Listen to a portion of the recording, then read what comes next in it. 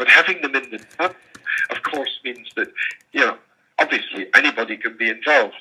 Um, the, the, senior decision maker might be on a business trip to China, but they can still look into their telephone, get the relevant information, and click and say yes, go ahead, do such and such.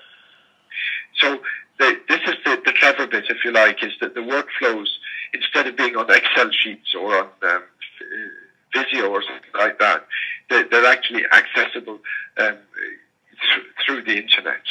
And that gives a huge freedom um, and a huge range of application, uh, whereas otherwise they would be relatively limited. Process versus workflow, we could haggle over that. Process is probably a little, little bit more specifically defined. Workflow is something that you do repetitively. Process is more, you do this and you get that, but they're very closely related. So this is the last section, and wanted to do was talk about procurement cloud workflow priorities. And I've got four or five suggestions here with which you may or may not agree. And I'm going to run through them quickly, and then I'm going to stop um, so that we have an opportunity to interact either by, by, by sound or by chat. So, consistent implementation. Um, if you use cloud workflow, then, well, if you use workflow, you can ensure consistent implementation. And you can also improve uh, on consistent basis, systematic basis for improving. So you can make minor adjustments to your workflow and it applies immediately.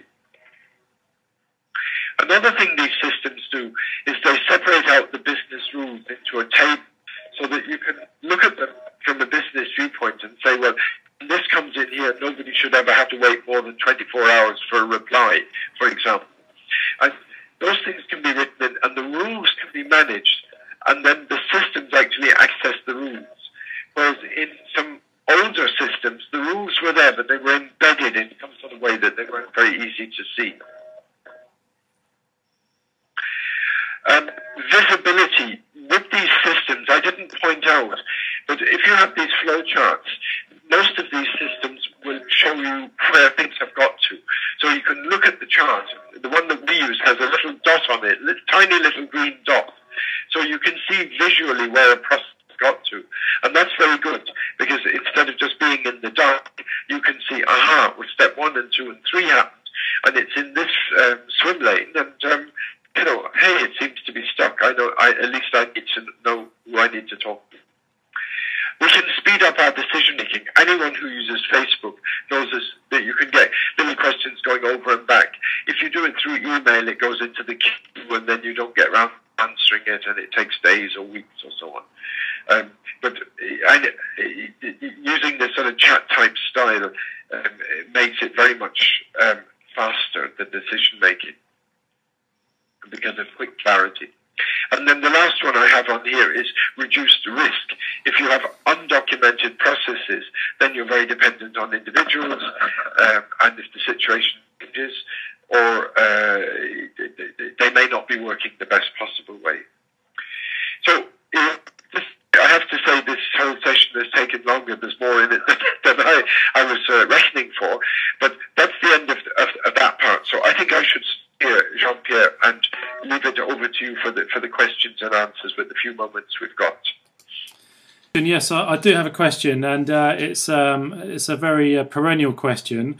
Um, how do you go about measuring the impact of uh, business process modeling? You've just highlighted for us uh, some of the potential advantages, but uh, do you have any recommendations for how companies and indeed procurement organizations can actually uh, quantify the benefits that they get from this, um, this kind of exercise? Well, uh, two things there. Um, it, it's not worth quantifying uh, to make a decision. I'll give you as insurance. You, you, could say, how much am I going to save by insuring my car? But people know instinctively. Um, but these processes, these um, tools, they do have statistics built into them. So you can see, for example, um, you where, where, product, where process steps are consistently being delayed. So you can make a measurement and say, well, why is this always happening two days after it should have started? And uh, you can go in and then look and talk to the people and adjust the process. So that's probably my recommendation would be uh, to use that that sort of feature. um, once people understand how these things work, then you can start going into that sort of improvement. Okay, thanks for that. And uh, I have one more question here, which uh, is asking about whether it's possible to uh, dynamically uh, adapt um, the process. So I guess uh, according to changing circumstances, perhaps if there's uh, a situation with particular urgency, is it possible to um, adjust the process that you've designed in order to um, deal with the urgency or, uh, or, or, somehow uh, put in a different set of processes depending on the situation? Yeah. Um, the application, the simpler applications um, don't allow you to change the process while it's running. But what you can do is you can change the process and then you can say, please close the existing process and use the data that I've got so far and, and in effect plug me in in the same place. Um, so it's a bit like changing. You're in a, a bus which is you know, has a, a, mechanical fault, and they say, please get off and get on the other bus. So you can do it that way. Some systems allow dynamic changes, um, but by definition, you can only change things that haven't happened yet. And then um, another way of doing it is you, you live with the fact that it's not perfect if you're doing something fairly regularly. And then when you get to the end of the process, you, you, you make adjustments. So there are different strategies, um, and depending on the sophistication of the, the application. But some of them do allow for dynamic changes. The other ones, you make the change, and um, but you still get the long-term improvement. Okay, that's great. Thanks, Yashin. Um, I don't have any more questions coming in from uh, from the audience. So unless uh, you or perhaps Bill have anything to add uh, in the few minutes that are remaining, I'd just like to thank you very much indeed for your presentation. Um, I found it absolutely uh, fascinating and uh, very interesting. It's uh, sparked lots of ideas and thoughts for, for for for myself.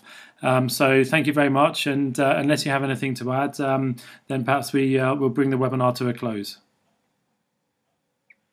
Well, I just make the quick comment that the um, uh, there's a free offer if somebody would like us online uh, modelling uh, a process.